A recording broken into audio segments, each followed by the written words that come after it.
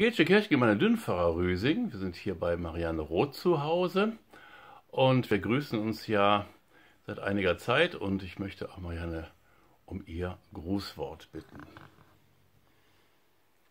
Ja, guten Tag. Heute grüße ich Sie, grüße euch ganz herzlich. Für alle, die mich nicht kennen, ich bin Marianne Roth, wohne in Dünnhauptstraße 60a und gehöre in dieser Corona-Zeit wohl zu der Risikogruppe. Aber mir geht es gut, ich darf zu Hause in meiner Wohnung sein, umgeben von Kindern und Enkeln und Urenkeln. Leider zurzeit immer auf Abstand. Wir erleben in diesen Wochen etwas Fremdes, vieles, was uns Angst macht, auch wenn um uns herum die Sonne die Natur in aller Schönheit erstrahlen lässt.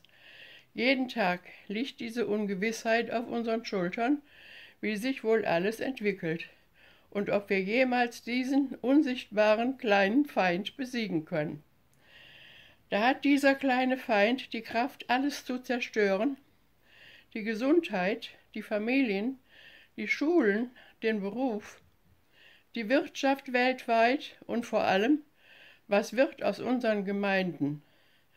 Schon wochenlang dürfen wir uns nicht treffen, nicht zusammen singen, wir dürfen nicht zusammen beten, nicht Gottes Wort im Gottesdienst und in den Gruppenstunden verkündigen. Ist wirklich alles so hoffnungslos? Nein, dreimal nein. Wir haben Gottes Wort. In aller Freiheit dürfen wir darin lesen, so oft wir wollen. Und es gibt immer eine Antwort, jedem persönlich, in welcher Situation wir uns gerade befinden. Heute ist Donnerstag, der 4. Juni 2020. Und für diesen Tag gibt es uns die Herrnhuter Losung das Wort aus 1 Samuel 17, Vers 45, wo es heißt, Du kommst zu mir mit Schwert, Lanze und Spieß. Ich aber komme zu dir im Namen des Herrn Zebaoth, des Gottes des Heeres Israels, den du verhöhnt hast. Wir, wir kennen diesen Vers aus der Geschichte, wo David den Riesen Goliath besiegt.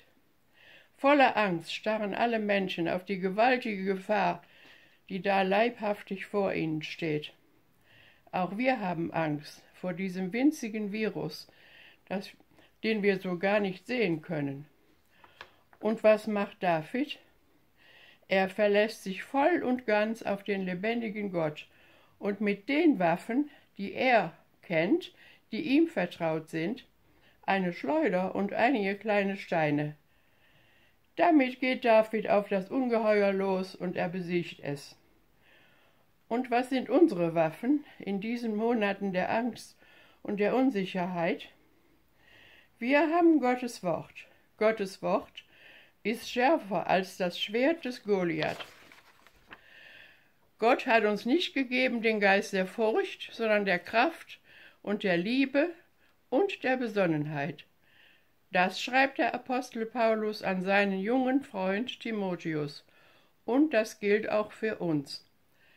Wir dürfen auch mit den Gaben, die wir kennen, die uns vertraut sind und die in unseren Möglichkeiten stehen, den Kampf gegen die Angst aufnehmen.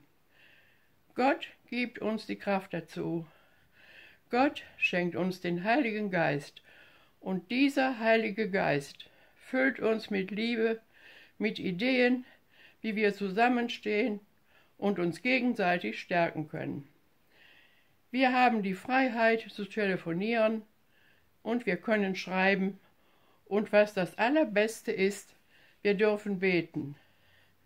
Am Tag und in der Nacht und weil es mir persönlich Beten so unendlich wichtig ist, möchte ich dazu einladen, euch der Gebetskette anzuschließen, die ich vor mehreren Wochen angeregt habe. Jeden Vormittag zwischen 8.30 Uhr und 9.30 Uhr bringen wir gemeinsam alles, was uns an diesem Tag und in dieser Zeit bewegt, vor den lebendigen Gott hier in unseren Gemeinden in Dünn und auch weiter im Kirchenkreis Lennep. Bitte schließ dich an, bete mit. Das Gebet des Gerechten vermag viel, wenn es ernstlich ist. So steht es im Jakobus 5, Vers 16. Also, zwischen halb neun und halb zehn bist du zum Beten eingeladen. Nun grüße ich noch alle, die Jungen und die Senioren, die Konfirmanden, die Mütter und die Väter und auch alle, die sich um kranke Angehörige kümmern und alle, die um einen lieben Menschen trauern in den letzten Wochen. Ich grüße euch mit den Versen aus dem Psalm 34. Diesen Psalm verfasste David, als Gott ihn wieder aus großer Not errettet hatte.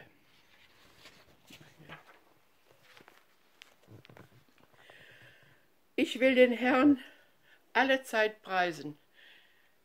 Nie will ich aufhören, ihn zu rühmen. Mit Leib und Seele lobe ich ihn. Wer entmutigt ist, soll es hören und sich freuen. Preist mit mir diesen großen Herrn. Lasst uns gemeinsam seinen Namen bekannt machen. Als ich den Herrn um Hilfe bat, antwortete er mir und befreite mich von meinen Ängsten. Wer zum Herrn aufschaut, der strahlt vor Freude, und sein Vertrauen wird nie enttäuscht. Ich war am Ende, da schrie ich zum Herrn, und er erhörte mich. Aus aller Bedrängnis hat er mich befreit.